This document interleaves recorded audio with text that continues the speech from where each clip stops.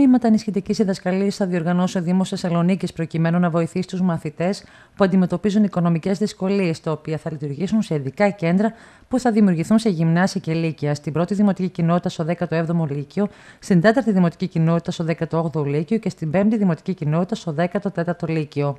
Σκοπός της ενισχυτικής διδασκαλίας είναι η διδακτική και παιδαγωγική ενίσχυση μαθητών από αδύναμες οικονομικά οικογένειες, προκειμένου να είναι σε θέση χωρίς επιπλέον δαπάνες σε συμπληρωματικά μαθήματα να ολοκληρώσουν την υποχρεωτική εκπαίδευση, τόνισε η αρμόδια δήμαρχος Έλλη Χρυσίδου. Είναι ένα πρόγραμμα το οποίο γίνεται από εθελοντές καθηγητές και είναι για την δευτεροβάθμια εκπαίδευση, γυμνάσιο και λύκειο.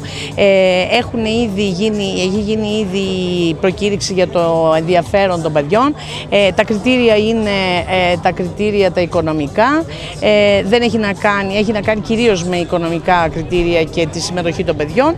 Ε, πιστεύουμε ότι θα πάει καλά όπως πήγε και πέρσι. Οι συμμετοχές είναι μεγάλες, οι ανάγκες της πόλης είναι μεγάλες.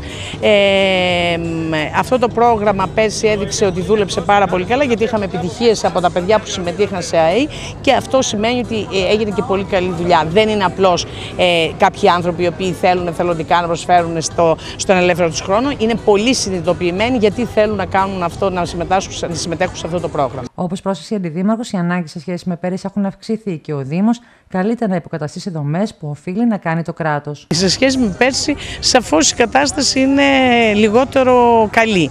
Ε, τώρα, ε, έτσι κι αλλιώς χρειάζεται τις υποδομές, χρειάζεται την, ε, τη συμμετοχή του κόσμου, χρειάζεται ε, να δουλέψουμε όλοι μαζί για να μπορέσουμε να αντικαταστήσουμε δομές και ε, δράσεις οι οποίες δεν γίνονται κεντρικά και από το, κυρίως από το κράτος. Λοιπόν, η τοπική αυτοδιοίκηση ε, πρέπει να έχει ένα λόγο για την ποιότητα ζωής των ε, κατοίκων της και αυτό το πράγμα εμείς προσπαθούμε να το κάνουμε έργο.